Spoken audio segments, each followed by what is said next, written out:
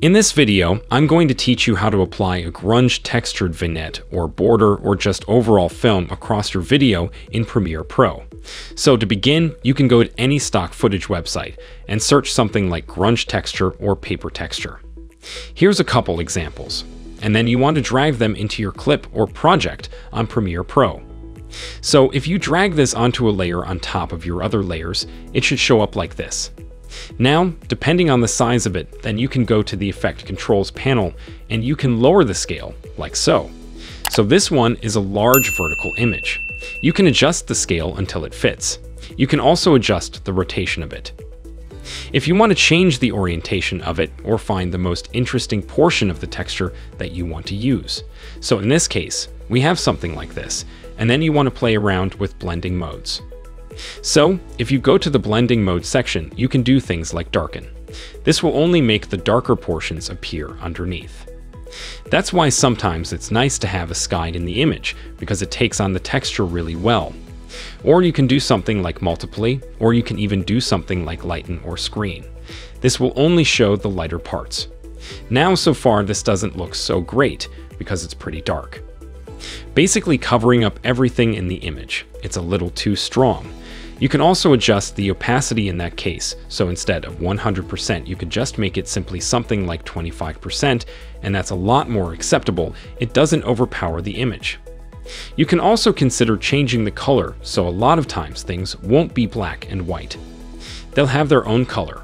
So in this case, you can go to the Lumetri color section, you can go to the basic correction tab, and you can play around with the saturation, so you can totally desaturate the image. So now it's just still got that grunge texture, but it's no longer got the blue color. You can also play around with the contrast and exposure. So if you're working on a setting like multiply, then the brighter you make the original image, let me just to show you the brighter you make the original image, then the less dark spots there will be to even stamp onto the video underneath. So you have these options to sort of adjust the strength of the texture by making it more gray or more white or more black. If you like, you can even go to the creative section and add your own tints on top if you want to add your own color texture for some reason. And if you ever double click on any of these, it'll reset them back to normal. You can also go to the tint effect in the effects panel, and that can do a similar idea. In the effect controls, you can just map the black to whatever color you want, or the white to whatever color you want. And that will also add color if you, if you want color. Oftentimes this might look fine, black and white. But in the Lumetri color panel, you know you have these options. You also have the curves tool.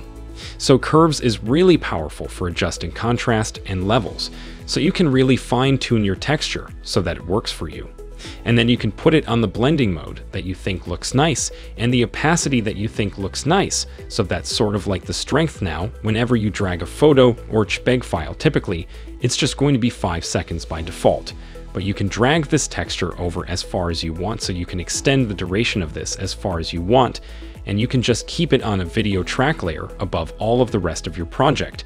And you can see when I press play, this adds this grungy texture look, however, one trick that I'll share here to sort of keep things a little more visible in your original clip is to add a mask onto this picture. So if I highlight our texture layer, go to the opacity tab in the effect controls and click this create ellipse mask button.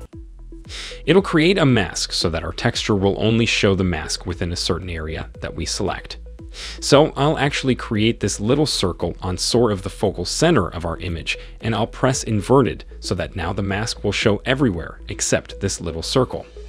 So sort of showing on the edges as if it were a little vignette on the frame.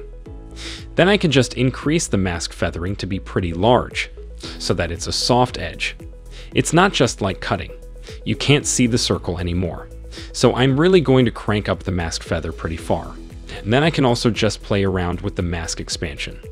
I can expand the mask out further if I want less of the center to be textured and make it just push out more to the edges and or I can shrink the mask if I want to go the other way. So now what we've created is we still have a texture, but it's a lot more subtle. We just have this slight texture on the edges and we can still sort of see what's going on in the middle. And actually it, it, it adds a cool little interesting touch to the frame, but it also still draws our attention to the center of the frame. So it's a cool little stylistic touch that you can keep in your toolbox when editing your music videos or video projects, or just whatever creative idea you have. If you enjoyed this video, you can check out hundreds of more in the playlist on my channel. Let me know what you thought about this trick in the comments and subscribe to stay tuned for all of my future videos. Thank you so much for watching and I'll see you in the next one.